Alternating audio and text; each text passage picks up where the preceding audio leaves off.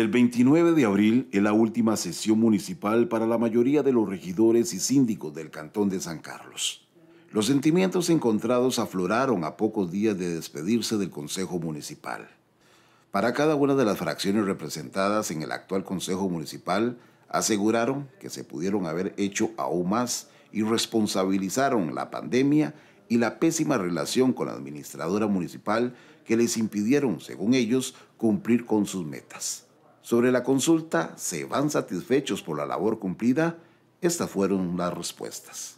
Como regidor municipal sí me voy muy satisfecho. Yo pues tuve que hacer frente a no solamente a mi gestión como regidor municipal, sino que además de eso eh, varias comisiones, bastantes, entre ellas dos muy fuertes, como fue la Comisión de Hacienda y Presupuesto y la Comisión de Obra Pública, que me devengaron muchísimo tiempo, muchísimas horas para este, de llevarle el paso a, lo que es este, la toma de decisiones que le corresponde al Consejo Municipal de las recomendaciones que se giran de parte de estas comisiones. En ese sentido, yo sí me voy sumamente satisfecho. Honestamente, no me voy satisfecho.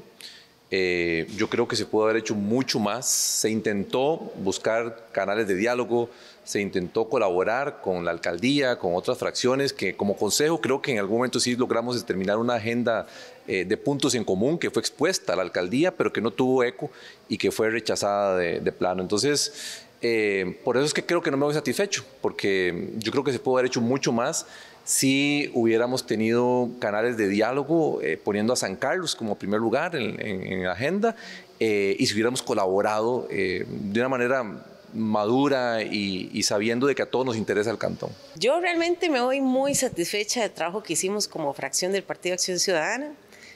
uno siempre se va con una sensación de que se pudo haber hecho más, ¿verdad? Uno siempre quiere como, como hacer más, pero creo que hicimos un trabajo justo, un trabajo honesto, de corazón, eh, hicimos todo el esfuerzo para generar los informes, trabajar en comisiones, hacer las giras, visitar las comunidades, presentar propuestas y mociones y creo que hemos hecho una, gran labor. Ya en próximos días estaremos presentando el informe de labores de los cuatro años. Una linda experiencia, un pasaje bonito eh, en esta municipalidad. Sin embargo, nos queda una, a mí, por ejemplo, como luchador de, gestión, sobre todo esa zona fronteriza, esa bajura, eh, me queda una insatisfacción.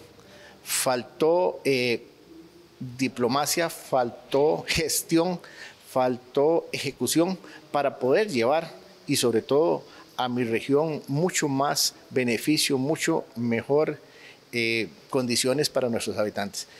Sin lugar a dudas, eh, nos enfrascamos, hubo una situación aquí de conflicto que ocupó y la política para mí es la forma de negociar integral inteligentemente en beneficio de todos.